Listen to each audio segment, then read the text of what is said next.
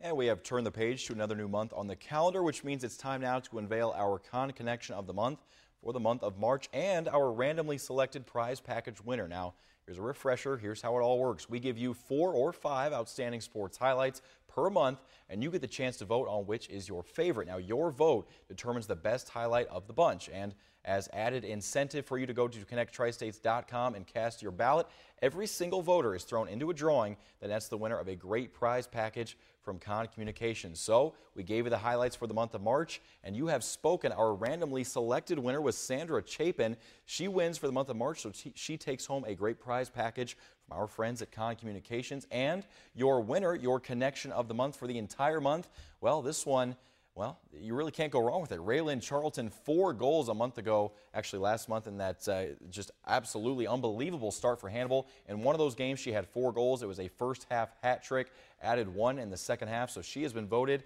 as the connection of the month, and that is just one of many good things for Hannibal girls soccer this season. So Raylan Charlton, your connection of the month, and congratulations to Sandra Chapin, who will take home our prize package. And Sandra, Sandra we will have our people Call your people to get that all worked out. Now it's another new month, of course, so we have a new connection to bring you.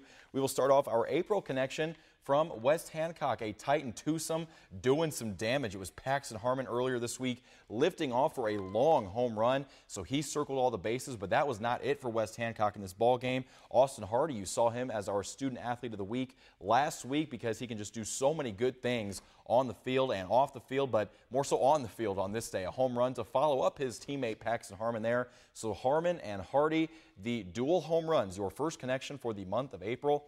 And just a reminder, you can go online at the end of the month, vote for your favorite, and try and win that prize package.